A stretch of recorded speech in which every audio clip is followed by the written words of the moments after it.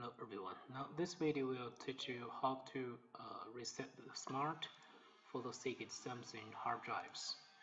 Now before we reset the smart, we can try to view the smart first.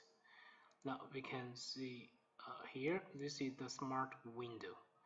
Now we can see that the spin up time. This is one of the key uh, value in a smart table. Now we can see that this is spin up time and number of spin times and start stop count and power on hours count and some also other values. Now this is the value view before we reset the smart. Let's try to reset the smart now reset smart